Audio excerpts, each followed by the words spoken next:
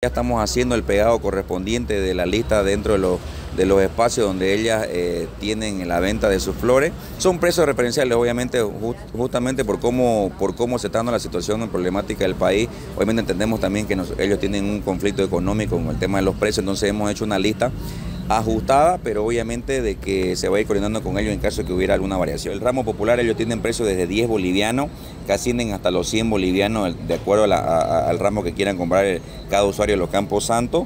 Y obviamente eh, todos los precios de acuerdo a los productos que vienen sobre todo de Cochabamba, es ahí donde esos ítems eh, están teniendo una variación, entonces es ahí donde nosotros en caso de que hubiera alguna alteración, alguna variación en los precios, se va a coordinar con ella para poder ajustarlo. El plazo es hasta el 30 de octubre, que es el día de mañana, nosotros vamos a aceptar todas las solicitudes de refacciones, colocado lápiz pintado. Y obviamente vamos a continuar así el 31 de octubre cerrando todos los cementerios municipales para poder culminar los detalles eh, últimos que se presenten, para dejarlo en óptima condición en los cementerios y así poder atender a la gente el primero y el 2 de noviembre. Tenemos dos prohibiciones. La primera es que está prohibido el ingreso de equipos de sonido o grupos musicales dentro de los campos santos, así como también el, consumo y expendio de bebidas alcohólicas. Nosotros vamos a hacer un patrullaje extenso tanto dentro y fuera de los, de los campos santos para que eso se pueda eh, hacer un control exhaustivo.